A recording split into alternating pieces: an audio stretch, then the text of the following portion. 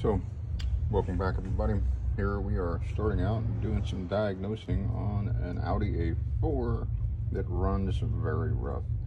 I've already started it and confirmed it barely, barely idles. so hood's open and like a lot of these cars, hood prop doesn't work. So let's get right into it. Well, first thing I notice is the mismatched coils, which is never a good sign. But then we see this, which looks like someone has done some kind of work on it. And it wasn't all the way seated. So now let's see if that's really all it takes.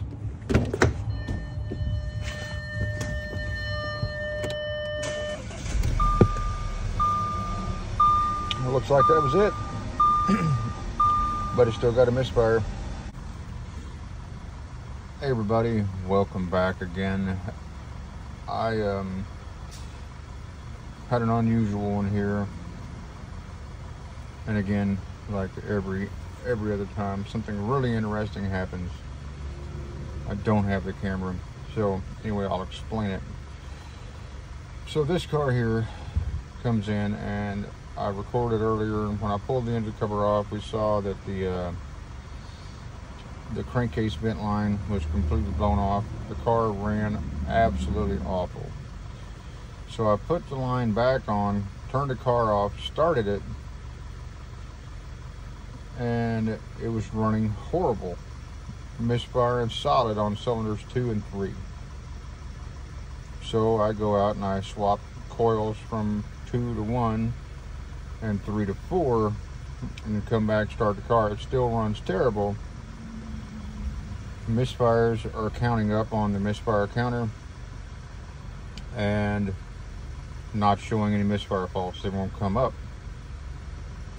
So I decided to clear the faults while the car is running and see if those faults would come back as misfires. They didn't. And now the car is running smooth I know everyone says clearing faults does not fix cars. That's true. But sometimes, whenever you have a car that has been so far out of specs on what it's supposed to do, it will not come back in until you clear the faults.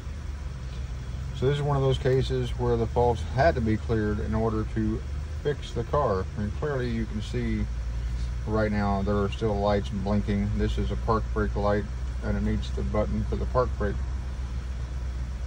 But right now, what we have, no codes present. And we'll just back this up again. Check codes one more time. No codes present. No more misfires. No more running terrible. Um, so this is uh, an ultra rare case of clearing codes kind of fixed the car. Well, I mean, technically speaking, putting the crankcase vent line back on fixed the car. But even after that, it was still misfiring tremendously.